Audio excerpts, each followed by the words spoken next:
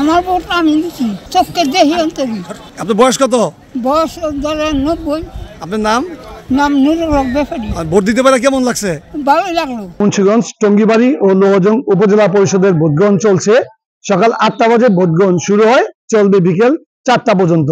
আমি এই মুহূর্তে রয়েছি টঙ্গিবাড়ি উপজেলার টঙ্গিবাড়ি ইউনিয়নের সোনারং পাইলট মডেল উচ্চ বিদ্যালয় কেন্দ্রে। কেন্দ্রটিতে সকাল থেকেই ভোটারদের উপস্থিতি নেই বললেই চলে।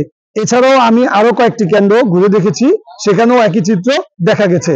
এই উপজেলার চেয়ারম্যান পদে প্রতিদ্বন্দ্বিতা করছেন ছয়জন ভাইস চেয়ারম্যান পদে রয়েছে তিনজন ও মহিলা ভাইস চেয়ারম্যান পদে রয়েছে চারজন এই উপজেলায় তেরোটি ইউনিয়নের মোট ভোটার সংখ্যা এক লাখ নব্বই হাজার দুশো জন।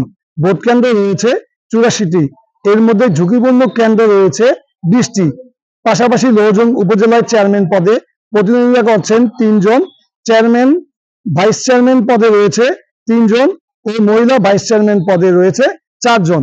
এই উপজেলায় দশটি ইউনিয়নে মোট ভোটার সংখ্যা এক লাখ ছেষট্টি হাজার সাতশো আটানব্বই জন। ভোট কেন্দ্র রয়েছে একষট্টিটি এর মধ্যে ঝুঁকিপূর্ণ কেন্দ্র রয়েছে সাতচল্লিশটি। কেন্দ্রের ভিতরে কোনো সমস্যা নেই ভোট ভালোভাবে দিচ্ছে ইনশাল্লাহ কেউ কোনো প্রভাব বিস্তার করছে? না না না কোনো প্রভাব বিস্তার করে দিচ্ছে সবাই সুস্থভাবে ভোট দিতেছে এটা কোনো সমস্যা হয় না আমরা সুষ্ঠুভাবে বুদ্ধি আছি, এখানে কোনো ঝামেলা হয় না এবং যার যাব সে আছে দিয়েছি সুষ্ঠুভাবে দিছি কোনো ঝামেলা হয়নি। কেউ কোনো প্রভাব বিস্তার করছে? না না।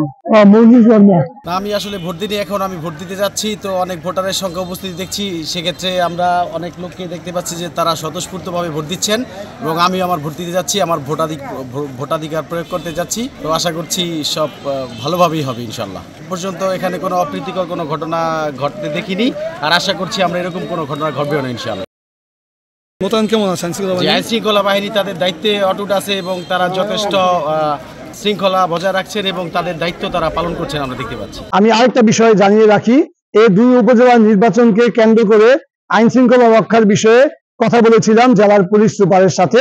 তিনি আমাকে যেমনটা জানিয়েছেন, এই দুই উপজেলার নির্বাচনকে অবাধ, সুষ্ঠু ও নিরপেক্ষ করার লক্ষ্যে আইন শৃঙ্খলা রক্ষাকারী বাহিনী সর্বদা কাজ করে যাচ্ছেন। এই ছিল মুন্সিগঞ্জ টঙ্গিবাড়ি উপজেলা থেকে নির্বাচনের সর্বশেষ তথ্য।